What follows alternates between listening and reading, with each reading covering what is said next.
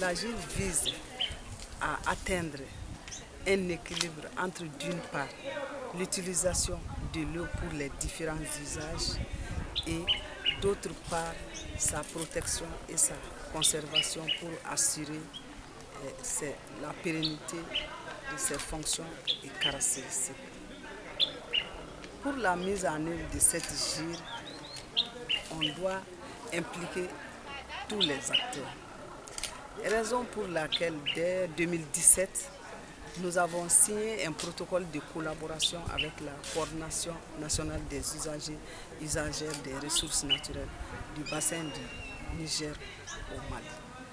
Dès la signature de ce protocole, eh, plusieurs activités ont été mises en œuvre, entre autres la formation du réseau des radios de proximité, la mise en place et la formation des femmes leaders Par rapport à ça, nous avons, eh, l'année dernière, au mois de décembre, si je ne me trompe pas, on a renforcé les capacités de, de ces réseaux.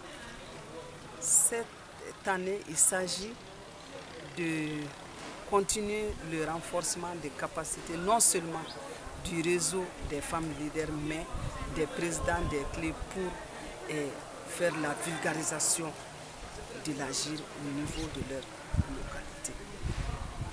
Puis cet, atelier est, euh, est venu à, point nommé car, comme j'ai dit, l'agir, il faut impliquer tout le monde. Si on implique les femmes et les, les, présidents des clés au niveau local, euh, au cours de cet atelier, euh, il sera élaboré une feuille de route cette feuille de route va identifier les rôles et les responsabilités de chaque acteur.